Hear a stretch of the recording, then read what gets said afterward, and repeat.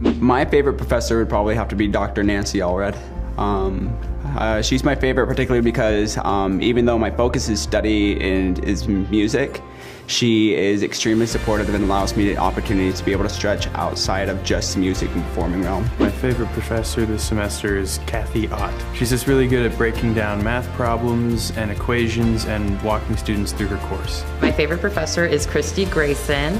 And it's really just because she has so much positive energy. Like every single class period, she's just smiling and joking and playing music, like every single class period.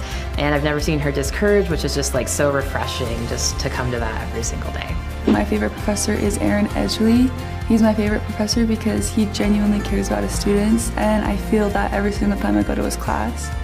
And he did this one thing where me and my friend went to a basketball game and he sent his sons literally over to us with buckets of snacks and just like made it rain all down on us. My favorite professor is Dr. Chris Healy and I chose her because not only does she care about you in the classroom, she also cares about you outside the classroom as well.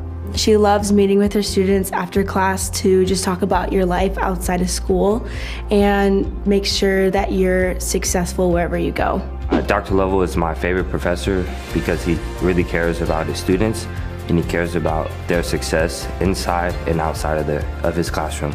So Wendy Bulkley is my favorite professor because she's not only like the funnest teacher, but she um, helped me find an internship and that gave me like my whole purpose here on campus.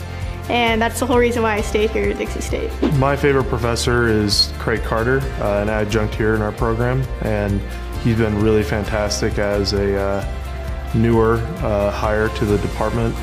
I've really enjoyed learning from him. I've taken two classes from him now, and uh, he finds a way to make stuff that would seem pretty monotonous or boring really engaging, and has also provided us a lot of real world experience. My favorite professor is Erin Ortiz. She is very personable and just easy to talk to and I've loved all my classes that I've taken from her. Dan Whalen, um, I don't think he even fully remembers me, but I, I loved his class. It didn't even, it never felt like a class, you know, it always felt like we were just getting together to watch movies. And he showed me some of the movies that I had wanted to see but haven't seen yet, like probably showed me one of my favorite movies, which was 1917. Being a film major, I didn't think I was going to learn a lot going into that class, and I learned far more than I was expecting because of it.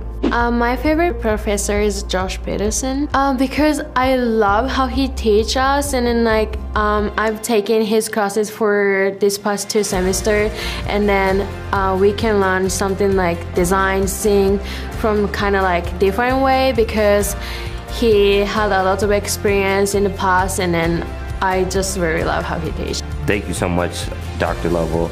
I, I, really appreciate everything you've done for me and everybody else. Thanks, Wendy, for being here at Dixie State. It wouldn't be the same without you. Thank you so much for allowing me to be able to take opportunities to let me stretch, to let me grow and do things that might be hard, like performing on stage in front of peers or um, practicing things that might be difficult at first. But every single learning moment is I appreciate more than anything.